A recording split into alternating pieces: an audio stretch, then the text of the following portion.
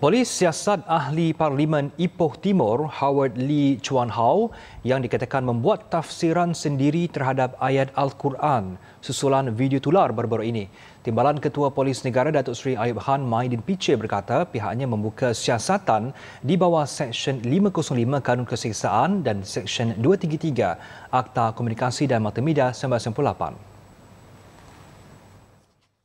Sementara itu, Pengarah Jabatan Siasatan Jenayah JSJ Bukit Aman, Datuk Seri Muhammad Suhaili Muhammad Zain mengesahkan polis akan merekodkan keterangan Howard dalam masa terdekat. Selain itu, Ketua Dewan Pemuda PAS Perak turut menyifatkan Howard sebagai kurang ajar dan cuba memprovokasi apabila mendakwa ahli Parlimen DAP itu menjadi pentafsir kepada Al-Quran dengan memutar belit tafsir ayat 59 surah An-Nisa Semalam, sebuah pertubuhan bukan kerajaan NGO membuat laporan polis bagi mendesak siasatan dijalankan terhadap Howard Lee kerana dianggap menghina Islam. Menurut mereka, segala hal berkaitan tafsiran ayat-ayat suci Al-Quran hendaklah disentuh atau ditafsir oleh mereka yang pakar dalam bidang tersebut apatah lagi orang bukan Islam namun bertindak mentafsirkan ayat di dalam Al-Quran yang sekaligus turut menyentuh perkara 3R, agama, raja dan kaum.